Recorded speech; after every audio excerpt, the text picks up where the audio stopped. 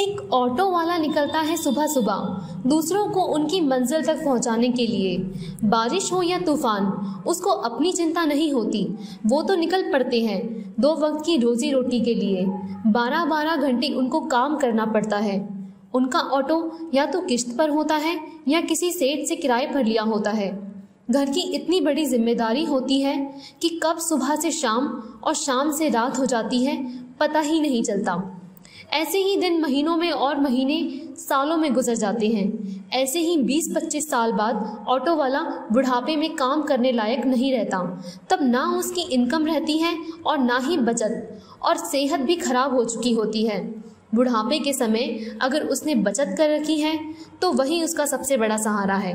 जिन हाथों ने हमेशा दिया है, अगर वो बुढ़ापे में किसी के सामने हाथ नहीं फैलाना चाहते हैं तो आज ही एलआईसी की बचत योजनाओं में इन्वेस्ट करें। आज आप निर्णय लें, आप भविष्य में क्या चाहेंगे? क्या ज़िंदगी भर स्वयं ऑटो चलाते रहेंगे या लोग आपके लिए ऑटो चलाएँ? भगवान के भरोसे मत बैठिए। क्या पता भगवान आपके भरोसे बैठा हो।